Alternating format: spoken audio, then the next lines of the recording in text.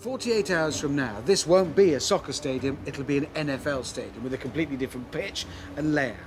They have practiced this process, breaking the pitch up, sliding under the south stand, and making other transformations here, but they've never done it for real. This is their first live event. There are thousands of tasks to be completed. The atmosphere is already tense, but it's okay because they've told me I can help. Be fine. I'm not just helping. Nick has told me that I'm about to drive a football pitch. You're all right to operate it, aren't you? Yeah, I've never crashed anything It's, in my life. it's easy. Hold down wireless command, Yes. and then you push that up. No, this will, this will be the biggest thing I've ever driven. in your life. This Yes. is the first. It's also a football. Just is it? It's not the De- fastest. definitely the first football pitch I've ever driven. Yep. Oh, there it is. My first job is to move the pitch one and a half metres sideways, tearing apart the three segments of field.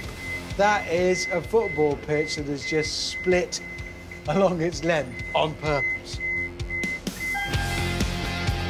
With a flick of my thumb, 68 electric motors begin to drive the pitch out of the stadium along the rails at a sedate 7 metres per minute. So what we're doing now is you're doing 3,000 tons, and by the end of the day, you'd have moved 9,000 tons, which is more than the weight of the Eiffel Tower. Cool. All right? When you think about it and look at it without seeing it move, it's immensely complicated. But seeing it all happen, It's simple. there's a kind of simplicity to It- it. this type of engineering hasn't really changed in, in, in decades. It's just big moving stuff. It's boys with Meccano. And a lot of toys. The first section is in the car park without a hitch, but I'm feeling a bit overconfident. Driving both at the same time. Um, am I moving now? No, that's moving. That's moving. I got... I, because it switched from that one to that one, I got complete... I very nearly fell over. Right, so that one's now moving. Yes.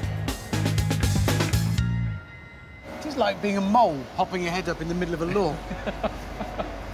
just standing here watching the other pitch reveal It's quite deceptive, isn't it? Not just a pitch either, it's another whole sort of culture. It's another world. NFL is a different world from what they play on here. Yes.